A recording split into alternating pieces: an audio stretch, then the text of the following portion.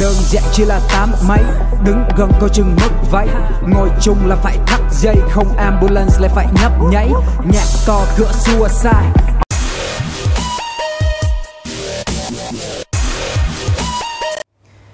Hello xin chào các bạn. Thì à, bây giờ là 11 giờ đêm Mình mới vừa check in xong phòng khách sạn. Nói chung là Tại vì hôm nay một, có một số việc bận Nên mình đến sau mọi người. Thì à, Hồi chiều nay đã có một cái số hoạt động Tại thành phố Cần Thơ của dàn siêu xe như là Rush Show Nhưng nói chung là chỉ là Rush Show thôi. Thì hiện tại mình đang ở tầng 19 của khách sạn Mường Thanh Cần Thơ. Khá đẹp. Ở dưới thì mấy anh siêu xe đậu rất là đẹp. Nhưng mà bây giờ tối quá mình không có tiện ra quay được. Thì ngày mai á, thì đoàn sẽ có hoạt động tại uh, trường đại học công nghệ cần thơ. Hey. Và sau đó sẽ là rush show à, tại cái tuyến đường trung tâm thành phố cần thơ. Nhưng mà ngày mai thì mình cũng không có quay được clip nhiều tại vì ngày mai mình phải đi à, Cà Mau đi đất mũi tặng sách. Bởi vì buồn lắm.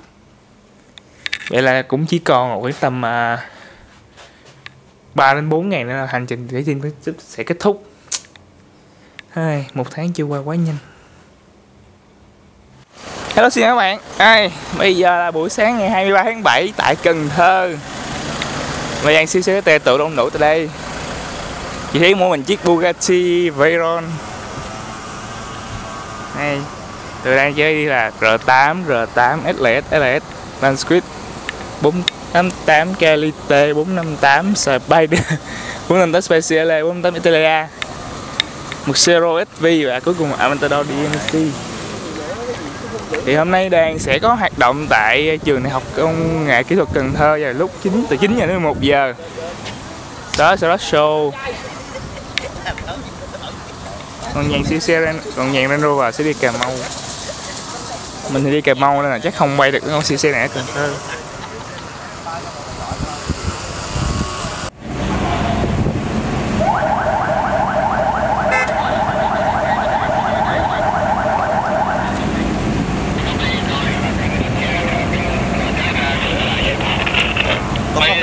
Không đi xe ảo anh ơi không đi xe khách à Ra đi tay tôi dẫn đoàn nha. Xe này còn ai ngồi nha Ra rồi anh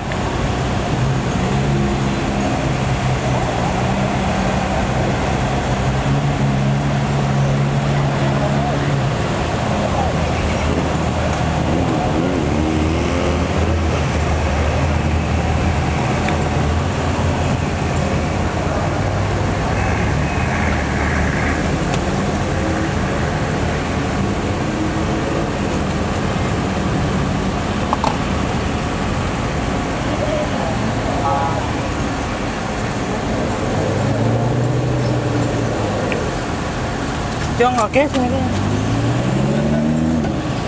hello anh ơi.